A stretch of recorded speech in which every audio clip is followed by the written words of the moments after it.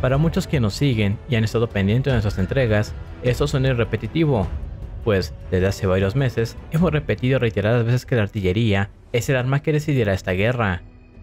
Lo dijimos durante la batalla de Bakhmut, lo mantuvimos durante la ofensiva ucraniana, y ahora lo constatamos con la batalla de Adipka. Y es que, al parecer, el nivel de disparos por Rusia, así como su producción, sigue superando por mucho a la producción local ucraniana y, además, a la producción de los países de la OTAN. Así lo afirmó CNN, quien expone que Rusia produce tres veces más proyectiles de artillería que Estados Unidos y Europa juntos. Estos datos se dan en un contexto donde las quejas ucranianas por la falta de artillería han estado cada vez más presentes. Por ejemplo, en febrero de 2024, los soldados ucranianos en primera línea de combate alzaban la voz de alarma ante la falta de artillería y de munición para seguir existiendo frente a la superioridad rusa. Es evidente que, si seguimos sin munición, perderemos la guerra, afirmó un soldado ucraniano en el frente. Tras la pérdida de Adipka, el ánimo de la tropa se desploma y los mandos se centran en garantizar la defensa de las posiciones en el frente del Donbass, cosa que no pueden hacer sin fuego artillero. Así lo afirmó el comandante Oleg, de 46 años, al mando de una unidad de tanquistas en medio del campo de batalla en la región del Donbass, cerca del frente de Bakhmut, hora después de la caída de Adipka. No podemos trabajar, cada tanque tiene que tener la cantidad de proyectiles mínima, pero ahora solo podemos disparar de vez en cuando para poder conservar las posiciones y tener unas mínimas reservas de munición. Es evidente que en algunas direcciones los rusos ocupan más territorio porque tienen más medios y porque tenemos escasez de munición. Esto contrasta fuertemente con la idea que algunos panfletos intentaron vender hace meses, donde afirmaban que era probable que Ucrania ya tuviera una mejor capacidad de artillería que Rusia, lo que pudo haber acabado definitivamente con la superioridad artillera con la que Rusia contaba. Pero estos mismos testimonios salieron a relucir cuando los propios ucranianos estaban mencionando que estaban teniendo problemas para mantener los ataques rusos a raya, puesto que algunas unidades de artillería no disponían de suficientes municiones como para mantener un ataque continuo y otras simplemente no tenían rondas que disparar. Algunos de esos artilleros mencionaban que guardaban sus rondas para momentos críticos, que los ataques que podían sostener por horas en algún momento temprano de la guerra se habían vuelto inviables y ahora solo podían dar un soporte que duraba un par de minutos, sin el suficiente para las tropas que trataban de avanzar. Así lo afirma Víctor, un soldado ucraniano en la región de Kharkov. Necesitamos los proyectiles, tenemos una gran escasez y somos tanquistas, casi no tenemos. Solo los que están en posiciones más calientes tienen algo más de munición. Tener menos material para disparar nos ha hecho más precisos, pero tenemos un problema si no podemos disparar nada. De acuerdo con esto, sumado a otras fuentes, los ucranianos en esos momentos están priorizando objetivos y usando casi que exclusivamente su fuego de artillería convencional para atacar concentraciones blindados y otros objetivos valiosos. A juicio de esto, no hay que ir mucho más allá para saber que Ucrania no tiene una mejor capacidad artillera con respecto a meses atrás. Pero dicha condición no es nada nueva, pues ya algo se durante la batalla de Bakhmut, donde ya empezaban a correr rumores de que Ucrania estaba teniendo una crisis de municiones. Asimismo, el servicio de inteligencia británico tuvo uno de sus pocos atinos, pues ya avisaba de una futura carencia de proyectiles, y al menos Reino Unido ya hablaba de un aumento en la producción de municiones de 155 milímetros para las piezas de artillería enviadas a Ucrania. Una investigación que fue rápidamente acallada por la Casa Blanca, donde la administración Biden daba por hecho que no era así, y que Ucrania no tiene una carencia de proyectiles. Al contrario, afirmaban que aún posee un stock bastante amplio como para conducir sus operaciones por algunos meses más. Por un tiempo no se volvió a hablar de esta condición, sino hasta el comienzo de la famosa ofensiva ucraniana, donde la carencia de proyectiles se volvió algo palpable y difícil de ignorar, puesto que muchos avances y repliegues ucranianos se vieron frustrados por esa falta de municiones. Muchos soldados se quejaron de la falta de cobertura, ya que la artillería aliada solo podía brindar un par de minutos de fuego de apoyo para cubrir los avances de las tropas. Dicha acción solo permitía que las tropas avanzaran un par de metros antes de ser bombardeadas por los cañones rusos. Además, los ucranianos no podían replegarse con éxito, porque su artillería no podía ejercer fuego de contrabatería, ya que todas las rondas habían sido usadas en el ataque de apertura. Esto provocó que mucho material se perdiera, y sería gracias a esta condición que veríamos los primeros registros de tanques Leopard siendo destruidos y abandonados en pleno fuego artillero ruso. Aún así, muchos dirigentes occidentales aseguraban fervientemente que no existía tal crisis, que nosotros y otros pocos medios anunciábamos. Pero, finalmente, esta condición ha sido aceptada en un momento crítico. Para Ucrania, de por sí resulta muy difícil igualar el poder artillero ruso, el cual ha alcanzado niveles de hasta 40.000 proyectiles por día, no solo porque su industria local ha sido destruida por los bombardeos rusos, sino también por problemas estructurales que vienen de años, como por ejemplo recortes de personal, congelamiento y cancelación de proyectos, y por supuesto, eliminación de material a través de su venta o su destrucción. Eso sí, sus grandes almacenes de municiones de la era soviética, así como su producción local, han logrado mantener un ritmo de 7.000 disparos por día.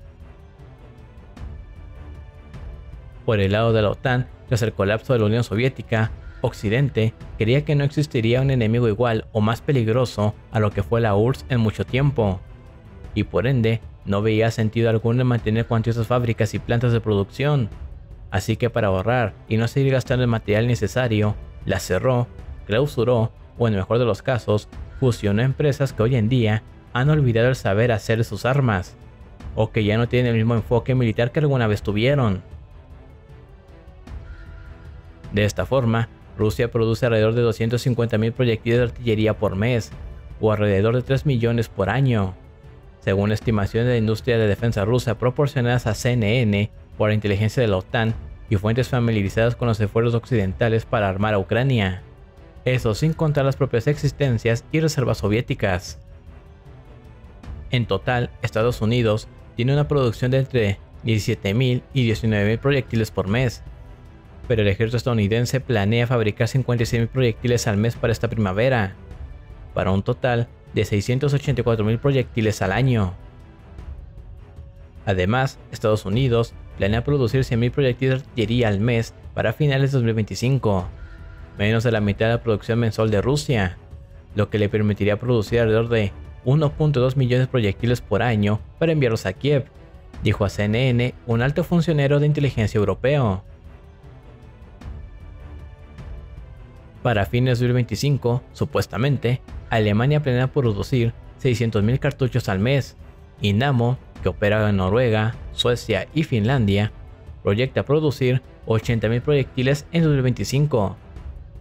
Francia, por su parte, dice que produce 100.000 cartuchos al año, sin planes anunciados para incrementar ese ritmo. Si se suman todos los esfuerzos, esto equivale aproximadamente 2 millones de rondas al año para 2025, lo que podría sostener una tasa de gasto de 5.500 rondas por día, lo que ni siquiera serviría para suplir los 7.000 disparos diarios que realiza Ucrania. Y dicho esto, si Ucrania utilizara todas las capacidades de los sistemas de artillería que tiene, dijo el entonces ministro de Defensa, Resnikov, el ejército podría necesitar más de 590.000 proyectiles al mes, pero incluso esta cifra es ahora inalcanzable, y, en suma, igualar la producción doméstica rusa es imposible para la OTAN, ya que hay que agregar la producción norcoreana, ya que Corea del Norte exportó más de un millón de proyectiles a Rusia en 10 envíos separados, según informó el Servicio Nacional de Inteligencia de Corea del Sur.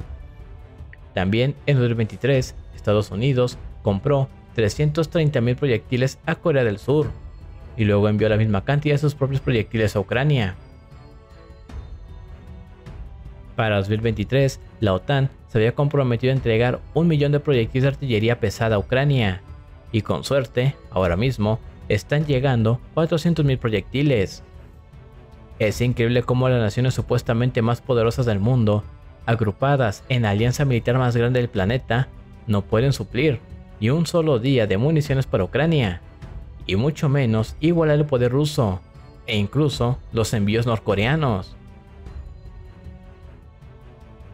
Y a toda esta problemática hay que sumar que la introducción de armas extranjeras en el ejército ucraniano, como el Obus de 155 mm, M777 o los PZH-2000, armas que Ucrania nunca ha operado y que no puede mantener en el tiempo.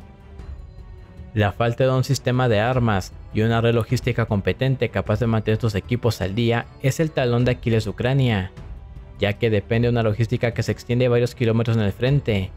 Incluso hasta diversos centros europeos que se encargan de suministrar los repuestos y municiones. Y peor aún, según un artículo de Foreign Police, las Fuerzas Armadas ucranianas no pueden reparar ciertas armas que se las han dado. Por ejemplo, las Fuerzas Armadas ucranianas no pueden reparar obuses estadounidenses M777, cuando, por ejemplo, es necesario sustituir los cañones debido al desgaste. De hecho, no se les ha concedido licencia para realizar reparaciones. Por lo que Ucrania tiene tres graves problemas que han derivado en esta crisis. Su stock se estaba vaciando antes de la guerra. Su industria no puede sustentar la demanda de proyectiles. Y, finalmente, se ve incapaz de mantener artillería occidental. Y para estos últimos hay un remate. En algún momento explicamos que Occidente maneja su artillería bajo la idea de la supresión, que, como recordaremos, esta teoría se basa en la eliminación de un objetivo prioritario por encima de un grupo, cosa totalmente contraria a la idea de saturación ruso-soviética, que dicta lo contrario, eliminar un grupo de fuerzas desplegadas en un sector de interés, aunque esto no quiere decir que Rusia no tenga equipo para suprimir blancos enemigos. Sea como sea, con esto en mente, piezas como el propio M777 o algo más grande como los M109 Paladin o los PCTH-2000 están diseñados para contrarrestar una amenaza mayor de un grupo de fuerzas, lo que genera que sus cañones no estén destinados a cumplir con la tarea de saturar el frente de batalla, mucho menos cuando en este frente hay un movimiento masivo de tropas. Los propios ucranianos se han quejado que tras una determinada cantidad de tiros deben darles un riguroso mantenimiento a los cañones, porque su nivel de desgaste es mucho mayor que el que sufren las piezas de origen soviético, los cuales están diseñados para tener un periodo de vida más largo debido al error que deben cumplir. Esto evidentemente genera que las piezas occidentales deban salir de frente para recibir ese mantenimiento, y su lugar debe ser cubierto por una pieza nacional que puede mantenerse más tiempo en acción, Mientras tanto, con esa pieza en el taller, muchos eventos se pueden suscitar. Por otro lado, Rusia no carece de este problema tan evidente en Ucrania, y eso se debe a muchas razones. Inicialmente, y como se mencionó, la industria militar rusa se congeló en su momento, mas nunca se clausuró, lo que ha permitido su reactivación y con ello darle sustento a la enorme demanda de proyectiles hasta el punto de poder duplicar la producción conjunta anual occidental de 1.2 millones de proyectiles. Asimismo, Rusia heredó un stock de municiones de considerables dimensiones de la era soviética, que ha ido expandiendo con el tiempo con los programas de rearme que ha solicitado, donde incluso, aún en tiempos de paz, la producción era mayor a la occidental. Meses antes del conflicto, la industria rusa había suministrado un millón de proyectiles al ejército, y en el primer año de la guerra registró la misma cantidad. A dos años del mismo, esta cantidad ha ascendido a los 3 millones de proyectiles anuales. Además de eso, Rusia ha buscado municiones en el mercado chino y norcoreano, cosa que ha sido muy criticada, pero eso se debe a que ambas industrias pueden producir las mismas cantidades de municiones a precios más bajos, lo que en una guerra de desgaste de semejante magnitud es más rentable para los beligerantes. No olvidemos que los proyectiles occidentales son excesivamente caros frente a los rusos, lo que le permite a Rusia mantener su ritmo de disparos con un gasto mínimo, mientras Ucrania debe gastar miles de dólares para un par de minutos de fuego. Para que se lleven una idea, producir un proyectil de artillería de 152 milímetros le cuesta a Rusia alrededor de 600 dólares, mientras que a Corea casi la mitad. Esto es considerablemente menos que el costo en países occidentales, donde producir un proyectil de calibre similar, como el de 155 milímetros, cuesta entre 5.000 y 6.000 dólares. En ese sentido, Rusia puede producir 10 proyectiles de 152 milímetros por cada proyectil de 155 milímetros que produce la OTAN. Muchos escudan en que la presión de los HIMAR, así como de la munición Excalibur, cambiará el panorama, Pero lo cierto es que, tal como dijimos hace meses, los principios sobre los que funciona artillería convencional son los mismos para ambos bandos, y no existe ninguna ventaja tecnológica sustancial de parte de Occidente, salvo los sistemas de control de fuego, cuya digitalización puede permitir un cálculo más celere, pero no modifica ni la precisión de los proyectiles ni reduce los ratios de rondas disparadas por cada objetivo, situándolas en el rango de las 100 municiones. Siendo así, respecto a los radares de artillería y otros sistemas para adquisición de objetivos, los rusos también los poseen, y estos no ofrecen sino un punto de referencia sobre a dónde apuntar, pero en ambos casos no garantizan que se logre abatir objetivo, y será la densidad de fuego sobre áreas específicas lo que se encargará del trabajo. La idea de que la artillería ucraniana obtenga ventaja sobre las rusas mediante uso de proyectiles de precisión tipo Excalibur o HIMAR no es del todo cierta, ya que existen ciertas limitaciones prácticas. A pesar de la precisión de esos proyectiles, su escasez y su elevado costo los hacen poco prácticos para el uso contra batería. El costo de un proyectil Excalibur supera los 100 mil dólares, situándose aproximadamente entre 120 y 140 mil dólares, cifra cercana de los HIMAR, y tiene un rango de error de hasta 10 metros. Esto significa que, en mejor de los casos, se necesitaría invertir hasta 140 mil dólares para destruir una sola pieza de artillería rusa, lo que son las tareas particulares en las que se usa.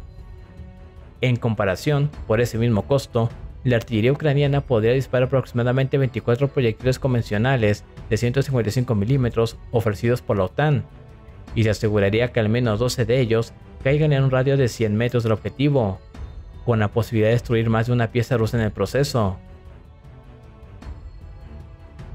Mientras tanto, por esa misma cantidad, Rusia puede disparar hasta 170 proyectiles de 152 milímetros.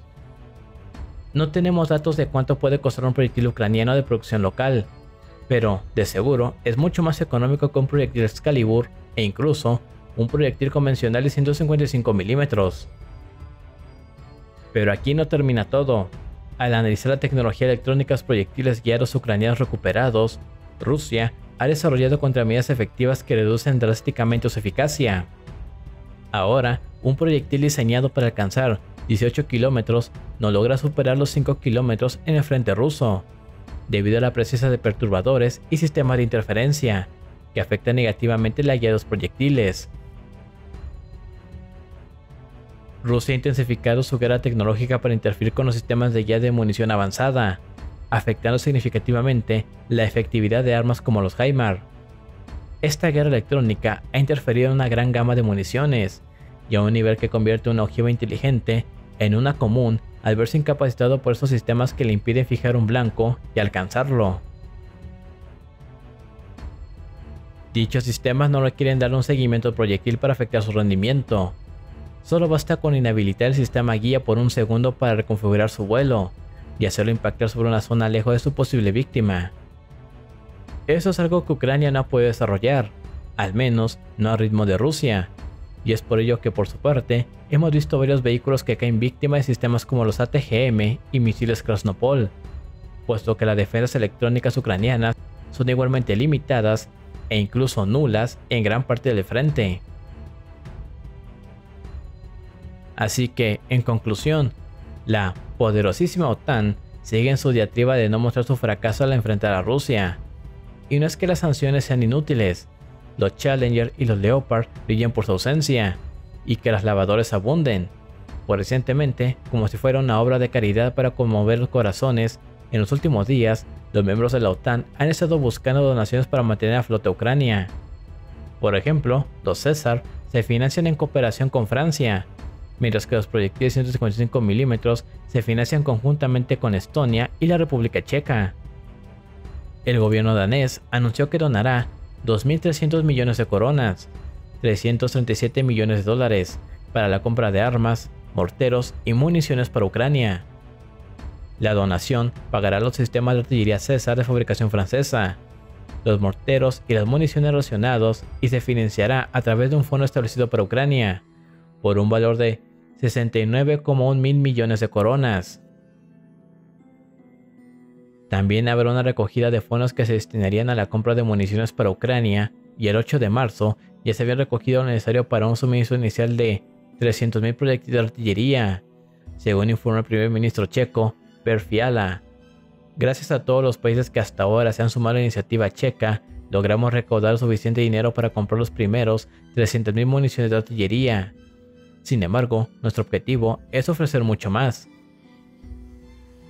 En Estados Unidos, el Congreso aún no logra aprobar el paquete de ayuda de 60 mil millones de dólares para Ucrania, pero el presidente Joe Biden aprobó un paquete urgente de suministros militares de 300 millones de dólares para Kiev, dinero con el cual, por ejemplo, se pueden comprar entre 50.000 y 60.000 proyectiles de 155 milímetros, es decir, 7 u 8 días de operaciones artilleras.